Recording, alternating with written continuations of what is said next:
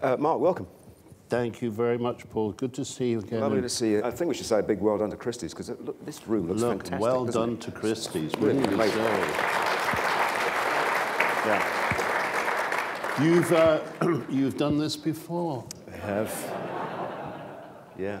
So, did you, what I'm curious to know is, did you take some persuading to go ahead with this project or did you do it willingly? Did you come willingly to give away so many of the I came quietly. Yeah. I think that, uh, you know, that uh, I, I had to, I mean, I've had to go on asking myself questions right up till, till now, t- Yeah. t- till today. And I actually, when I came in, because I'd never been in, uh, when I came in this afternoon, I must admit a couple of the things that I saw did make me gulp a little bit. But, um, and, uh, I- you know, I'm going to wish that I was taking them home with me, but at the same time, I'm happy. It's a kind of a happy pain because, you know, that they'll go to people who, hopefully, uh, will, will, will have new friends, you know, will make new relationships with them. And uh, I remember Chet Atkins telling me, you know, you get a guitar, Mark, a guitar is your friend for life. And um, it'll be your best friend. I wasn't really thinking so much at the time, but I've had plenty of time to think about that since. And, and it is, you know, it's a wonderful companion to you, and I'm sure a lot of you will know that already. I mean, you talk about them like people. They, they are sort of like members of the extended family, aren't they? Yeah, well, uh, you know, anybody that's uh, been unfortunate enough to work in the studio with me will know that you're looking for characters for songs. You're looking for a voice in the song. You, they all have a different voice, you know, so that's just the funny thing about it. They're, they don't conform to uh, what you'd think. You'd just think, what is this? Just two bits of wood, isn't it? And and uh, the guitarists in here will know very, very, very well that that's just not the way it plays at all. Yeah. That they're characters. And there will be a song that answers, you know, for them, for just for that one thing. And I was looking at a, one of them, it was a, a blue Eko 300 that you know, uh, and, and it just co- covered in sparkle. And it looks more like something you'd find at a kid's party or something. You'd get out of a swizzle stick. You know. and, uh, but that was Song for Sonny Liston. It had the song written all over it. And when I played the song on that instrument, it worked. And, you know, I mean, I would do it on a Les Paul or di- different guitars for different nights, but on, at the time when we were doing the record, that, that, was, the, that was the guitar for, for it. It's the character. It's like finding a character for a, for a play. Mm. You know, it's the same, it's the same thing, and, it, and it's like casting Yeah. people for a, for a song, casting musicians for a, for a, for a song. I mean, I remember when I wrote a thing called uh, Sailing to Philadelphia, I suddenly heard James Taylor singing The Other Guy. And poor old James, you know, he, he, didn't, he didn't ask for that. And He didn't mind it, though. I happen to know that he didn't mind. he did great. so you are sort of casting the guitar, aren't you? Yeah. So does the song always exist first before you start thinking about casting the guitar? Or does the, sometimes it's the other way around and the guitar sort of... You get, yeah, well, you get to know your instrument, Paul. You get to know it. You know, you play it so much that you think, ah, this is a job for a, a 1954 Fender Stratocaster with thick strings and a tremolo arm. Can you really hear it? You can really hear it in, in your head? Yeah, except that it could also be a Gretsch 6120 from 1957. And, and I'm serious. It could be one of those two guitars. And people who have studied this stuff for whatever God-forsaken reason will know what I'm talking about. Yeah. But you can really cast, uh, call those to mind, the, Yeah. the individual tones of Yeah. the guitars. In fact, the 6120 for, for the train spotters, uh, the Shads did actually use a 6120 for some of their records. Yeah. And, and it was indistinguishable from the Fender actually at the time because they were very similar pickups. Yes. And in 1957, the, the Gretsch Filtertron pickups, they changed them. And so I won't even look at a 6920 after 1957. I'm glad you mentioned the Shads because, uh, in, in many ways, this is all Hank Marvin's fault, isn't it?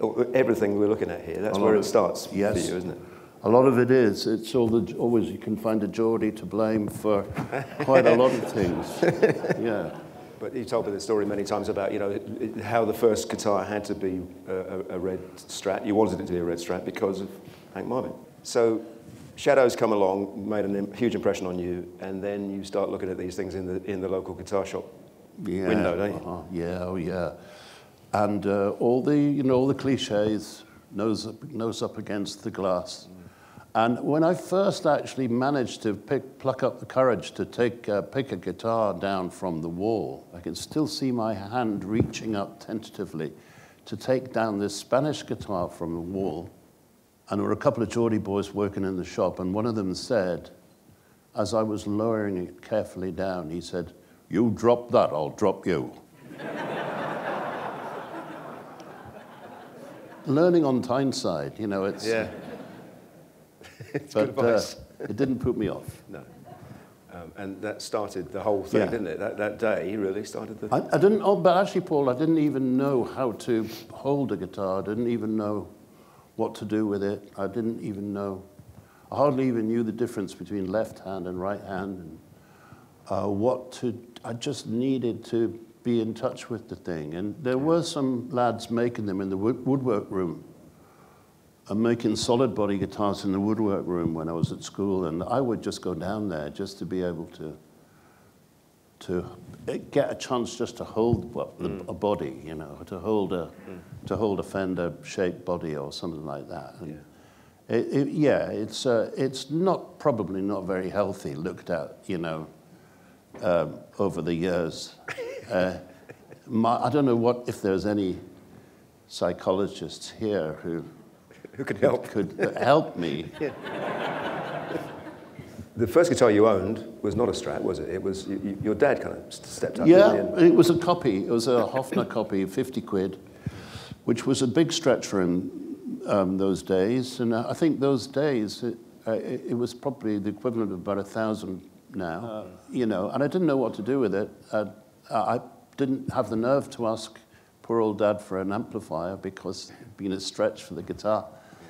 So I, I blew up the radio in short order.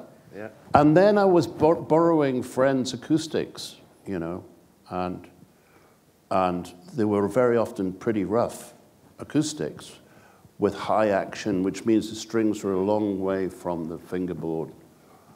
But I learned how to play them somehow. A fingerpick uh, that you all know, like a clawhammer fingerpick, was taught to me by a folk singer in Northumberland who was my pal's big sister's boyfriend. Joe Davidson was his name, and he taught me. My only guitar lesson was, was that, to, to, to do that fingerpick. That was it, the only guitar lesson you ever had? Well, uh, the other one was my sister who suggested that I hold it the other way around. See, she said, you know, that's, that's the way people play it because because I'm left-handed. So she, I was actually playing a tennis racket, and she switched it round said, "You play it like that."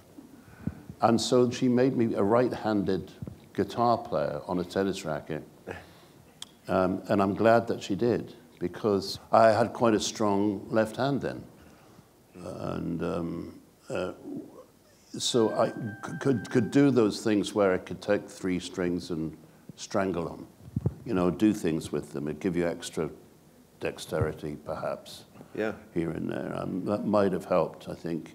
I, I, think doing everything wrong, being a guitar teacher's nightmare, mm. has advantages, you know. um, you know, that you just find your own answers. Yeah. I've always, as my old headmaster said, gone my own way. in spite yes. of all good advice. Yeah, yeah, yeah.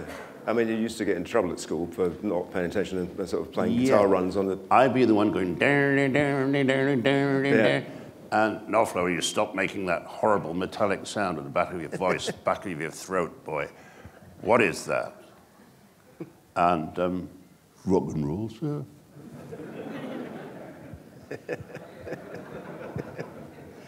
Get out. Yes.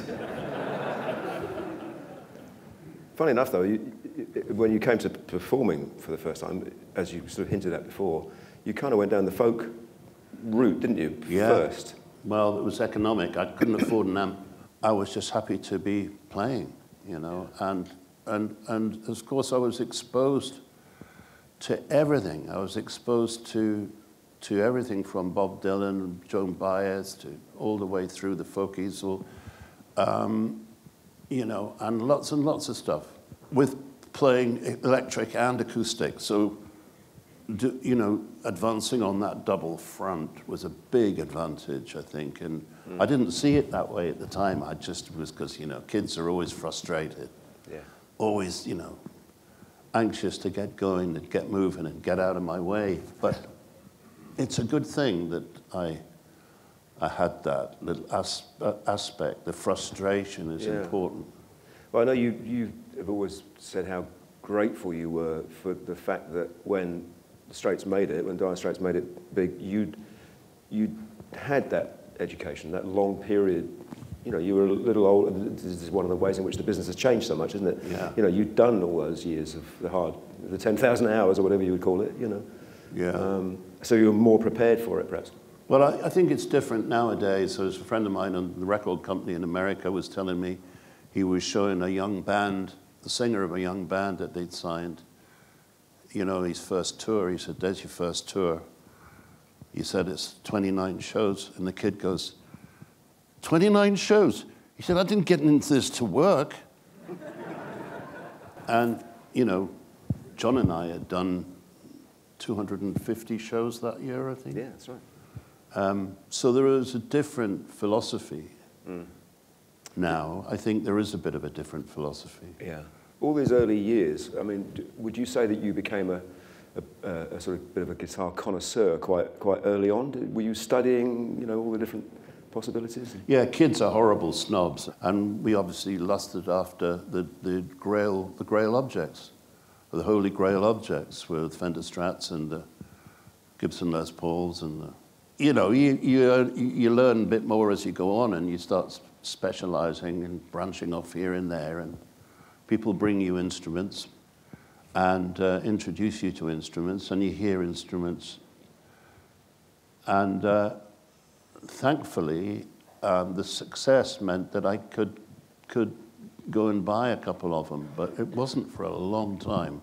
I mean, our first royalty check, I mean, I need John to remind me, but 18 months before we got anything, wasn't it?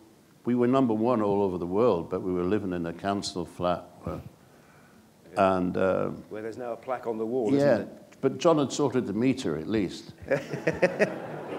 um, for Dire Straits, we were rehearsing in the council flat, and we, we had underlay on the walls, uh, whatever we thought that was going to do.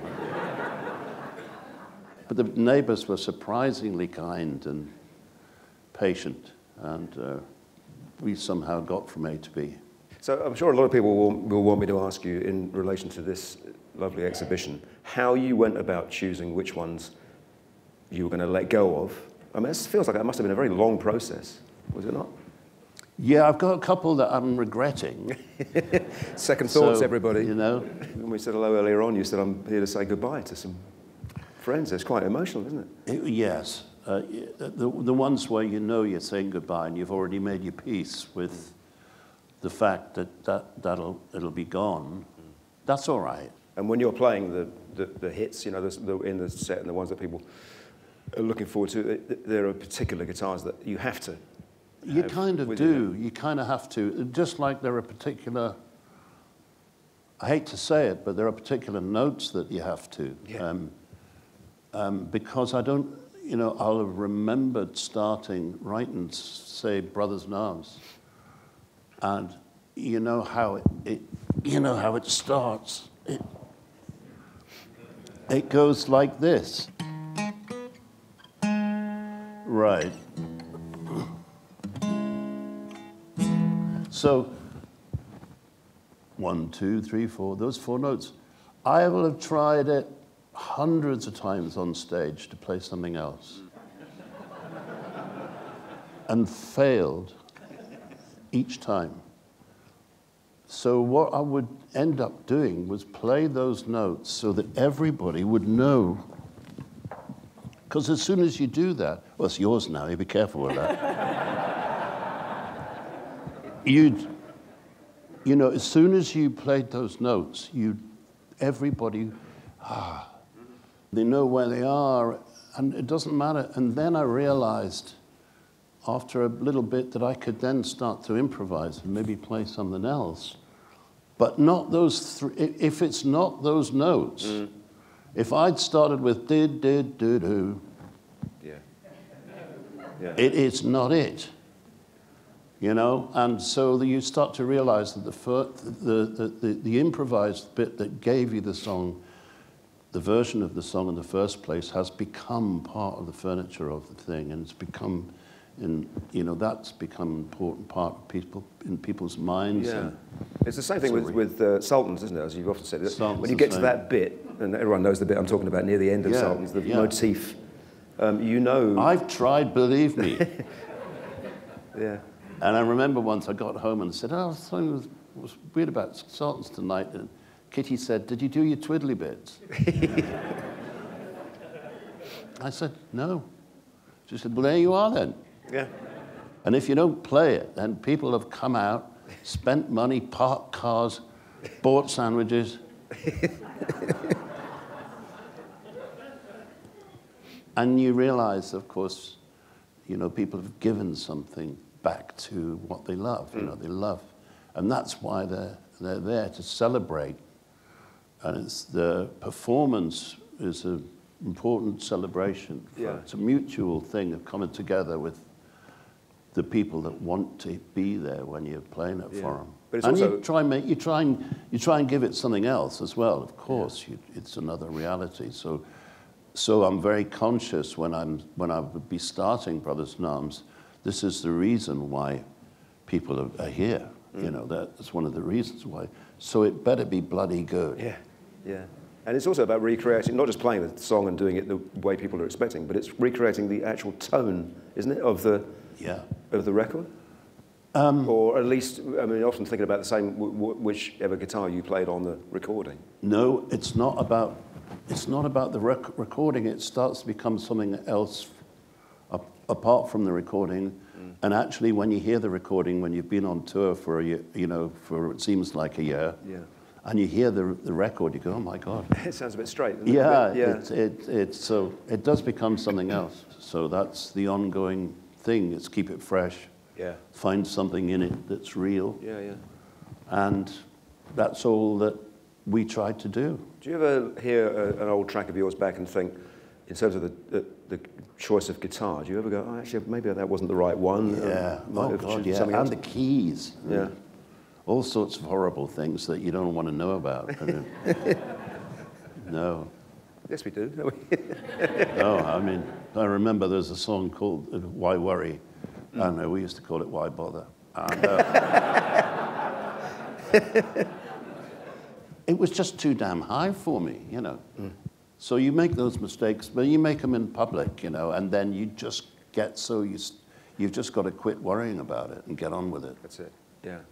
Um, you've got a new album on the way. Um, more details to come on that, uh, you know, not, not too far away. But it's a wonderful record, I've heard it already. Are there new guitars on that album? Are there, uh, have you relied on some old friends, or is it a mixture? Yeah, there's a, there, there is a new acoustic guitar maker in Oregon um, called uh, Butch Boswell, Arthur Boswell, and, and uh, I bought a couple of them already, and you know I've got there already. Thanks to again to Rudy, my friend Rudy in New York, who you all know about and he goes, Marcus, I hear this amazing guitar you got. I got, I, buy, I get you one, and um, that's Rudy. And uh, And uh, you gotta hear this guitar, man. So, um, yeah, so Butch Boswell, who was Rudy's repairman for a long time, he was doing his 10,000 hours Right. Yeah. doing that. And now he can make them. He makes beautiful, beautiful guitars. So it just suited me. And I found one little guitar in that lot that ended up being on four or five Yeah. songs on the new album. Yeah. Yeah. So, yes, so the same thing uh, starts happening. Yeah. You know, things worm their way into their, you know, they Yeah. just end up in the garage and being used. Yeah. yeah. So you're still building the collection, really, aren't you? Yeah, exactly that. Rudy wanted to come over. He, he, he wanted to bring me a guitar. And, you know, I've got a picture of it on my phone. It is bl- blue guitar, a blue guitar. That sums it all up. And he wanted to bring it because he was excited about it. And, and I've got a, a new one from New Boswell as well the other day. And uh, I was showing it to one of the kids the other day and getting excited about it all again. So, yeah, the, it just, that, that doesn't stop. No, it's just re- it's renewing itself all the time, isn't Yeah. it? The whole thing. You must be very curious to know what's going to happen you know, on, the, on the day of the auction. I'll be fine. You know, I'm on it. I'll be fine. I'll be fine. Turning to therapy, isn't it? It's therapy session. I know, but there, there are some real beauties in there. You Yeah. know, there are some real crackers. Yeah, yeah. Oh, tell me a story about this one. We had a specific thing or two about this Oh, lovely, well, that, I lovely mean- beast here? That was Mandela. and I remember um, going out, uh, as we were going out to get on the stage, I remember somebody saying, there's over 650 million people watching this. it was food for thought. Yes. That is, a crowd like that makes know, you yeah. think, yeah. But then you were veterans of Live Aid by then, so, you know. Well, yes, we were sort of used to it, I, I suppose. And uh, the, the funny thing about Live Aid is we were doing a kind of a residency at Wembley Pool at the, Yeah, the um, arena. the arena. And I don't know how many gigs we were doing there 20 or so. And all we had to do was cross the car park and do the Let's Do, Live, Aid. Yeah. Yeah, so we just walked across the car park, did Live Aid, yeah. walked back and did the gig at the, uh, at the arena. Yeah. Yeah, it's two gigs in one day. Well, In those stadium years, and I know you're much happier now in playing smaller places, aren't you, generally? But were there certain guitars that you would, that a, a fit a bigger stadium setting? I mean, is that part of the consideration? No, I think it would be the same. They're just the right thing for the song. Yeah. It's the right thing for the song all, all the time. You know, it's whatever it is. You don't need too many. You don't need, certainly don't need as many as I've been using. Um, and on, on a gig, I might go get through uh, six or seven guitars. The reason why the Pensa, the Rudy, the Rudy came along was because I was looking to find a way of using less guitars on the set so I could get a powerful sound. That thick pickup you see by the mm, bridge, mm. and that's a humbucking, really powerful pickup. And the single pole pickups in front were more like Fender pickups. Mm. And um, I I was just trying to get more sounds out of one instrument so I didn't have to keep jumping around. And, um, and some of the nicest sounds you get are the blends between the, the pickups at the back of the, where the, where the bridge is, the harder sounds, and, and the ones at the front end, which are softer and more pillowy, and you can get tones between them. But then I found out that you can get a lot of different sounds from a Les Paul too. You know, if you know, if you can be bothered, which I couldn't for a long time, but if you can be bothered to learn how the volume controls actually work together and and the tone controls actually work that you can actually get some proper effects out of the guitar and get it to the guitar to work for you a little bit but better instead of just turning everything full on which was my speciality you know. um, there's a much better way that you can work with a Les Paul Yeah. And I had to learn that. Um, and probably, you know, my old guitar techs would be sitting there thinking, Now he tells us. you know, I mean, I know, Ron, I know, just leave it. I'm, I'm buying. Yeah. No, uh, no, uh, you know, it, it's a very slow learning process, and, and I, didn't, I didn't have the money for a good Les Paul for a long time, and, uh, you know, uh, so it, it was slow, it was slow. Mm. But that was the main perk of success for you, wasn't it? The ability to, to start owning some of these things you'd been um, fantasizing about for so long. Yeah, it was, it's really exciting to get to know them that way, Yeah. you know, and to, to have had the chance. So I didn't know what all the fuss was about until I saw what all the fuss was about. Um, and it's an endlessly fascinating thing to be part of. It goes on. It Goes on, mystery goes on. Yeah. Mark, it's lovely to see you. I just wanted to let everybody know about the exhibition, which is here at Christie's in King Street until the 30th of January. Um, so please do enjoy having a look Oh, around yeah. and Come tell your friends, have, come and have a look. Come round. Yeah, uh, the auction is in this room, 1 p.m., 31st of January, uh, and it's going to be live streamed on Christie's.com and on YouTube as well. Um, I think all that remains is to ask everyone to join me in saying great big thank you to Mark Knopfler. Thank you very much.